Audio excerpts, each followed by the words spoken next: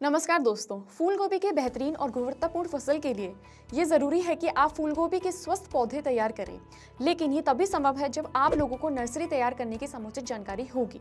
इसी का ख्याल रखते हुए आज हम आपको नर्सरी तैयार करने के उपयुक्त समय एवं विधियों के बारे में बताएँगे। तो आइए शुरू करते हैं। फूल की नर्सरी तैयार करने के लिए जुलाई से अगस्त का महीने का चुनाव करें। जब बात आती है नर्सरी के लिए स्थान चयन की तो आपको ये ध्यान रखना है कि नर्सरी के लिए ऐसे स्थान का चयन करें जहाँ प्रतिदिन कम से कम दो से तीन घंटे की धूप आती हो।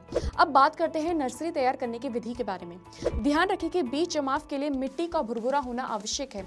इसके लिए सबसे पहले एक बार गहरी जुताई करें। इसके बाद दो से तीन बार हल्की जुताई करके मिट्टी को भुरभुरी बना लें।